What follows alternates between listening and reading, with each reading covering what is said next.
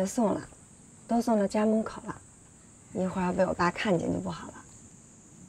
你也赶紧回去吧，刚才你那么不给你爸面子，还是早点回去比较好。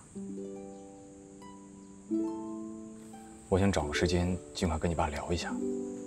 我这刚回来，关于杜若楠的事情，我还有一肚子的疑问想要问他呢。这么多的事情堆在一起，我怕他会吃不消。过一段时间好不好？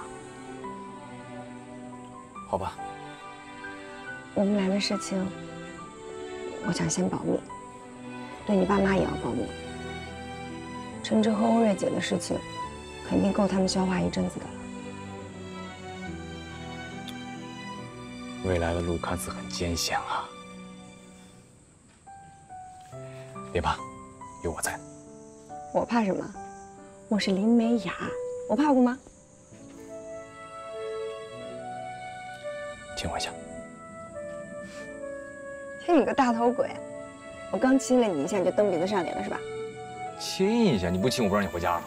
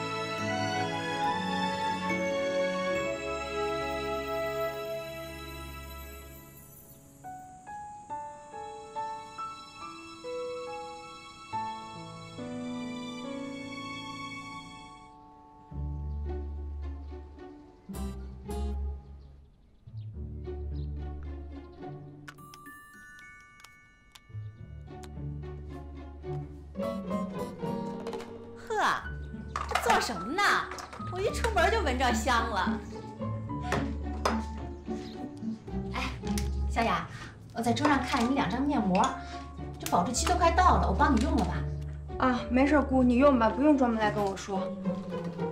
哟，烤面包呢？啊，给欧阳烤的。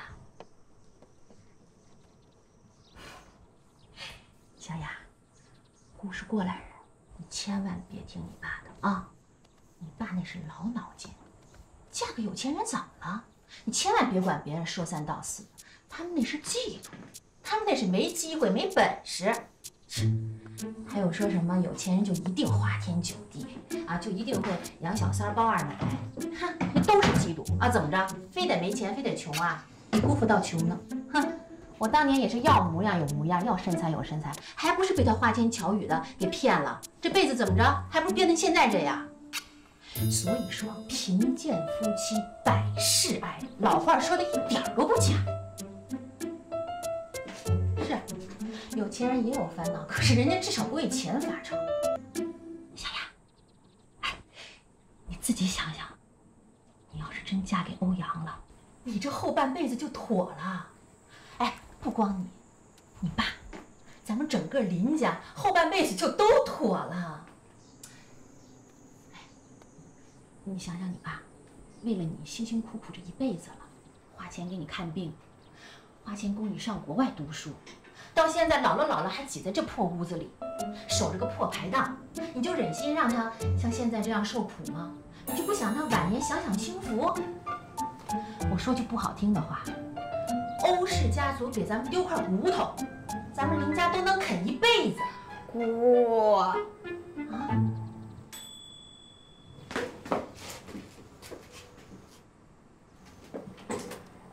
我说了这么多，你听进去没听进去啊？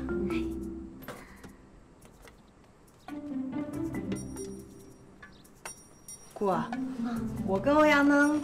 真的只是普通朋友关系，所以你就不要乱猜了。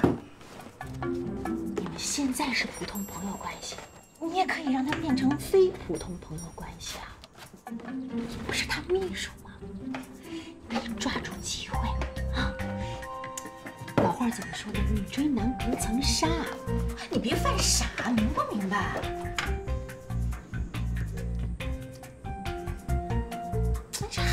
小到大就这样，我到了。油盐不进的样子。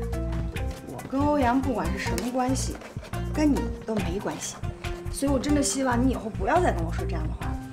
今天的牛角包我专门加了新料，给你留了两个，你别忘了吃啊！我上班去了。别犯傻。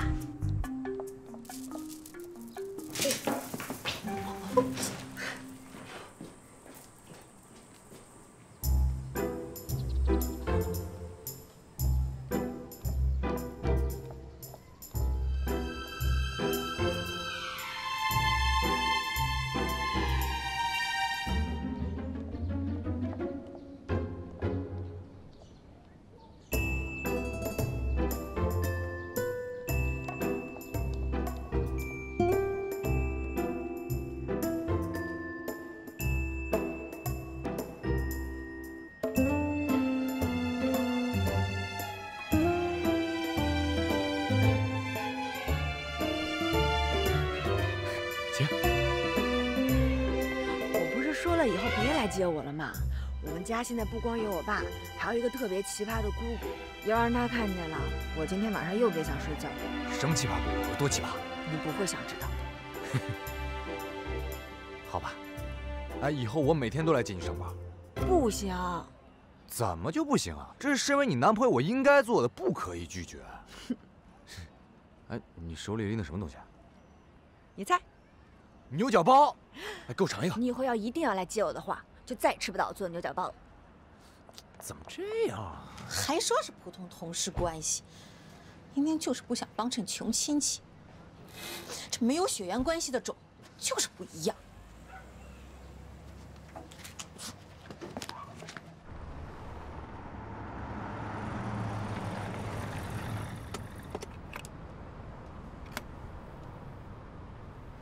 明天别来我家接我了。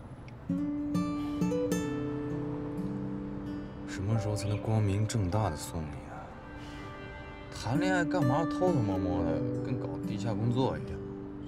就像我姐跟陈哲似的。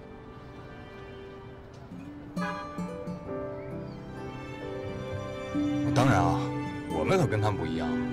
我爸昨天说了，坚决不允许我姐嫁给陈哲。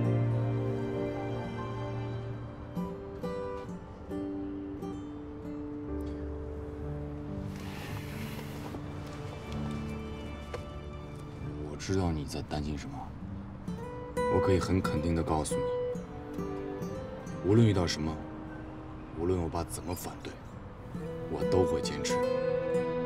请相信我好吗？我当然相信你了。